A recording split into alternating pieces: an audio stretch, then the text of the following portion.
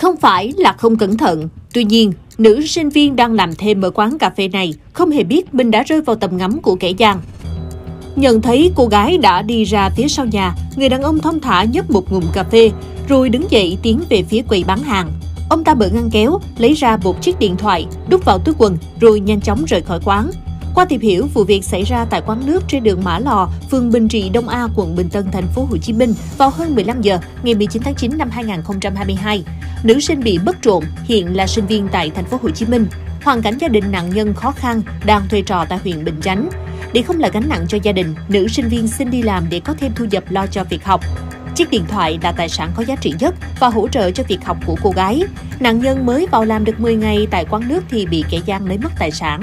Nạn nhân cho biết vẫn chưa trình báo công an, cô chỉ mong người đàn ông lấy trộm điện thoại sẽ mang trả lại.